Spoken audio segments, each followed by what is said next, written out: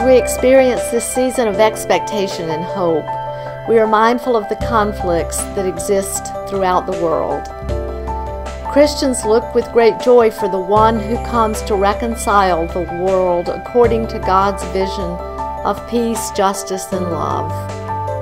We're inspired by the words of Howard Thurman as he writes I will light candles this Christmas, candles of joy despite all the sadness, candles of hope where despair keeps watch, candles of courage where fear is ever present, candles of peace for tempest tossed days, candles of grace to ease heavy burdens, candles of love to inspire all my living, candles that will burn all the year long.